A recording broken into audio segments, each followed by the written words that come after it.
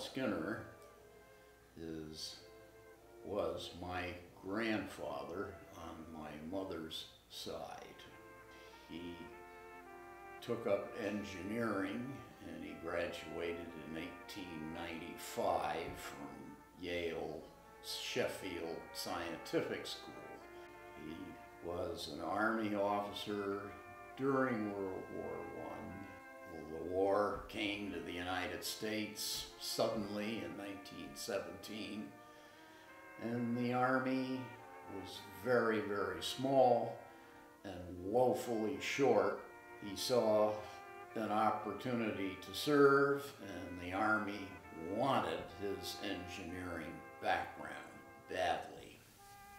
They ended up assigning him as the War Department's War Board representative, and he was put in charge of Bridgeport's fuel and Bridgeport's armament industry. There was a Navy base in Bridgeport, and Bridgeport Brass was making parts for naval vessels going overseas.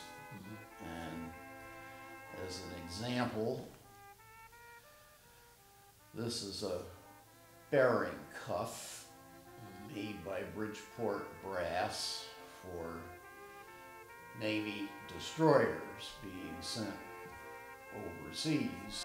And the Army, after he started out in Bridgeport, tapped him on the shoulder and said, We want you to be part of a team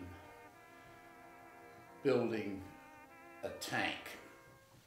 He was assigned to produce one of the prototypes here in Bridgeport. Bridgeport, it was a center for World War One.